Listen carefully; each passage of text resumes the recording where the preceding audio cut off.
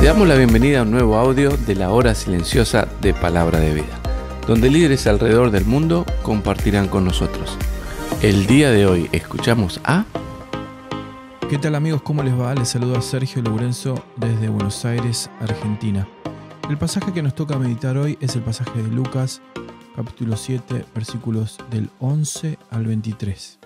Voy a leer la Reina Valera, versión 1960, y dice así. Aconteció después que él iba a la ciudad que se llama Naín, e iban con él muchos de sus discípulos, y una gran multitud. Cuando llegó cerca de la puerta de la ciudad, he aquí que llevaban a enterrar a un difunto, hijo único de su madre, la cual era viuda, y había con ella mucha gente de la ciudad. Y cuando el Señor la vio, se compadeció de ella y le dijo, no llores. Y acercándose tocó el féretro, y los que lo llevaban se detuvieron. Y dijo, joven, a ti te digo, levántate. Entonces se incorporó el que había muerto y comenzó a hablar, y lo dio a su madre. Y todos tuvieron miedo y glorificaban a Dios, diciendo, un gran profeta se ha levantado entre nosotros, y Dios ha visitado a su pueblo. El 17 dice, y se extendió la fama de él por toda Judea y por toda la región alrededor. Los discípulos de Juan le dieron las nuevas de todas estas cosas, y llamó Juan a dos de sus discípulos, y los envió a Jesús para preguntarle, ¿Eres tú el que había de venir o esperaremos a otro? Cuando pues los hombres vinieron a él, dijeron, Juan el Bautista nos ha enviado a ti para preguntarte, ¿eres tú el que ha de venir o esperaremos a otro? En esa misma hora sanó a muchos de enfermedades y plagas, y de espíritus malos, y a muchos ciegos le dio la vista. Y respondió Jesús les dijo, Id haced saber a Juan lo que habéis visto y oído. Los ciegos ven, los cojos andan, los leprosos son limpiados, los sordos oyen, los muertos son resucitados, y a los pobres es anunciado el Evangelio. Y el 23 dice, y bienaventurado es aquel que no halle tropiezo en mí. Tremenda historia en la que podemos sacar un montón de cosas. Pero hoy nos vamos a centrar en un pedido que Jesús nos hace directamente. Mira, la muerte siempre es dolorosa, siempre. La muerte marca una separación, una distancia que muchas veces resulta insoportable. No sé si tuviste la oportunidad de ir a un sepelio donde se está despidiendo a alguien que falleció y hay mucho dolor, mucha angustia y más aún si la persona que falleció no tenía a Cristo como su Salvador. Hay mucho dolor. La gente se quiebra por completo por ese dolor que se siente desde adentro. Es un dolor profundo. Pero también podemos decir que la muerte de una persona joven es aún más dolorosa. Eh, cuando un padre o una madre tiene que pasar por la muerte de un hijo, es muy doloroso. Es una vida joven que se pierde. Es una vida joven que se corta. Nunca vamos a saber qué objetivos hubiera cumplido. Nunca vamos a saber qué oportunidad hubiera tenido. Nunca vamos a saber en qué iba a trabajar, em, con quién se iba a casar, cuántos hijos iba a tener. Quedan un montón de incógnitas. Quedan un montón de planes para esa persona que de repente se cortan por completo. Y entendiendo esto, podemos comprender un poco más el dolor de esa madre. Esa madre que era viuda y que lo único que tenía era su hijo. Ahora fíjate esta escena. Jesús la ve. Y yo creo que en un segundo, al verla, cuando Jesús estaba llegando a las puertas de la ciudad, comprendió todo. Jesús miró sus ojos y entendió todo. Todo esto de lo que estamos hablando lo entendió en un segundo. Y dice, y se compadeció. Se compadeció de esa madre que acababa de perder a su único hijo. Y Jesús hace algo inesperado. De tal forma que él llega, se para frente a esta gran caravana y dice que los que llevaban el, féretro, el cajón donde estaba el muchacho, se paran. Y él solo dio una orden.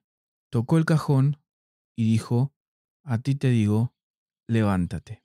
Podemos imaginarnos que en segundos nada más el muchacho se incorpora, se sienta y comienza a hablar. El muchacho tenía vida, Puedes imaginarte lo que esto causó, ¿no? En el medio de ese sepelio, en el medio de esa caravana.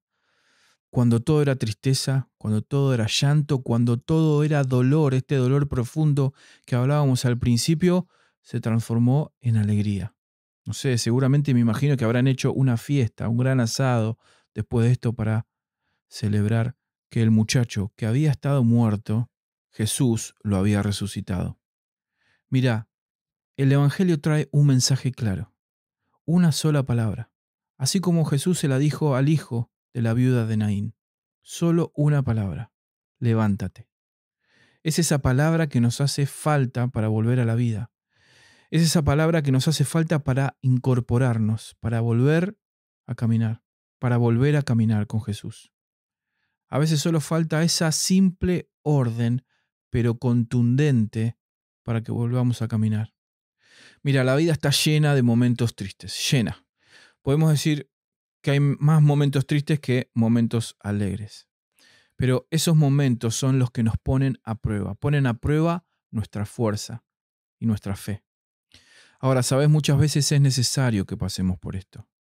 También tenés que recordar que a los que aman a Dios, todas las cosas les ayudan a bien. Esto es lo bueno y lo malo. No importa cuán dolorosa sea la prueba. No importa de qué altura hayas caído.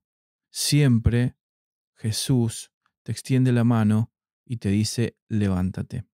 Hay veces que el dolor que sentimos es tan profundo que nuestra mente y nuestro corazón no quieren levantarse, quieren quedarse ahí en el piso. Proverbios 24, 16 dice, porque siete veces cae el justo y vuelve a levantarse. Quizás las cosas se salieron de control. Quizás la prueba es demasiado complicada. Quizás la prueba es demasiado difícil. Quizás el dolor es muy profundo. Quizá en algún momento has pensado en renunciar y no seguir más, no tenés más ganas de seguir. Quizás en algún momento pensaste en renunciar, pensaste en abandonar todo. Pero al igual que a la viuda de Naín, Jesús te ve, mira tus ojos, siente tu dolor y te dice, levántate. Inténtalo otra vez. Dios quiere que sepas que Él está contigo todas las veces que lo intentes. Mira, Jesús quiere formar un carácter de siervo en vos. Quiere que aprendas de la lección. Él quiere que con eso que aprendiste puedas bendecir a otro. Él puede convertir tu dolor en bendición. Mira, no fuiste llamado para retroceder. No fuiste llamado para quedarte en el piso. Fuiste llamado para ganar. Fuiste llamado para servir. Fuiste llamado para vencer. Y no lo digo yo, lo dice la Biblia. Tenemos la capacidad de hacerlo porque Dios depositó en nosotros esa capacidad. Él ha estado siempre.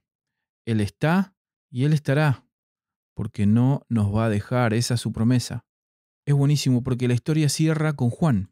Paréntesis. Recordá que esta pequeña meditación no reemplaza tu tiempo a solas con Dios. Tenés que estudiar la Biblia y profundizar en ella. Cierro paréntesis. Juan estaba en la cárcel. Juan estaba en la cárcel y manda a sus discípulos a preguntarle a Jesús si él era el Mesías, él era el enviado de Dios o tenían que seguir esperando. Algunos dicen que Juan estaba un poco confundido y que es por eso que preguntaba si era Jesús o no. Pero más allá de eso, Jesús les responde con sus discípulos y les dice, vayan y háganle saber a Juan lo que habéis visto y oído. Y no me imagino a Juan el Bautista al oír estas palabras, al ver el entusiasmo de sus discípulos a contarle todos estos milagros que Jesús había hecho, que estaba haciendo, y a Juan el Bautista en el medio de este dolor, de estar preso, de estar siendo castigado, en, el medio, en medio de ese lugar horrible donde estaba, sintió la mano de Jesús, diciéndole, levántate. Acordate del Salmo 31, 24. Sean fuertes y valientes. Y recordá que cada vez que estás triste, cada vez que tu corazón está roto, cada vez que pasás por un momento intenso de mucho dolor, donde te duele el alma, Jesús te ve, te mira a los ojos y te dice levántate. Y si lo haces, le das la posibilidad de que sane tu corazón, una vez más, con su infinito amor. Gracias por escucharnos. Recuerda que este audio no reemplaza tu tiempo a solas con Dios. Te animamos a que escribas tus aplicaciones personales. Hasta mañana.